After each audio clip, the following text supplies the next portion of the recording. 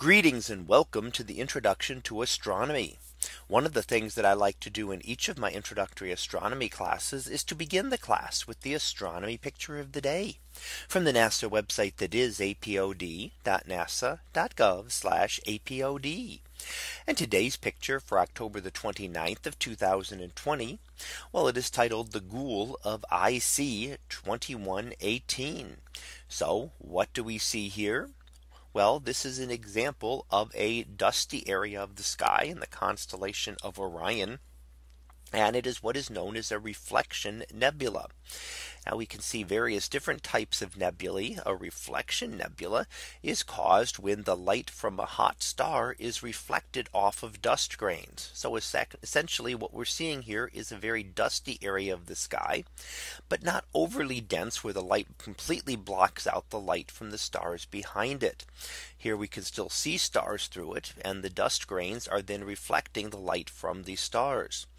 Now it'll have a bluish tinge to it because the star that is that is uh, causing this is actually a relatively blue star and is a well known star known as Rigel. Now Rigel is not visible in this image. It would be off to the upper left hand side.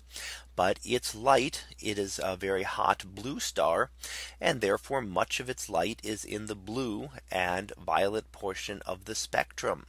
And that means that when the dust is reflected, the dust is very good at scattering the blue light. Shorter wavelengths get scattered much better than longer wavelengths.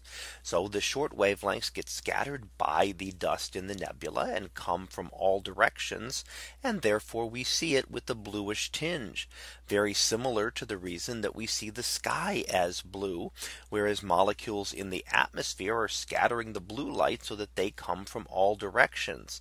So as you watch a sunset as the sun gets lower and lower in the sky, it's come passing through more atmosphere and therefore it tends to look redder. So the blues and the greens, the shorter wavelengths keep getting scattered out. And by the time the sun reaches the horizon, the only colors getting through are the very deep reds.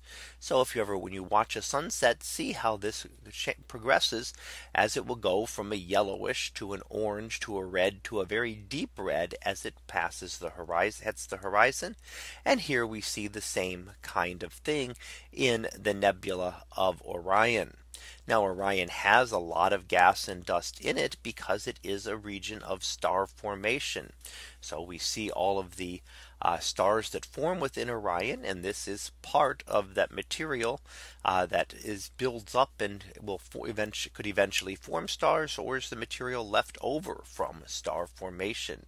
So we can see these remnants of our star forming region in Orion. And in this case, it gives maybe the apparition of a Halloween ghoul uh, floating through the sky. So that was our picture of the day for October the 29th of 2020. It was titled the Ghoul of IC 2118. We'll be back again tomorrow for the next picture previewed to be fear and terror. So we'll see what that is about tomorrow. And until then, have a great day, everyone and I will see you in class.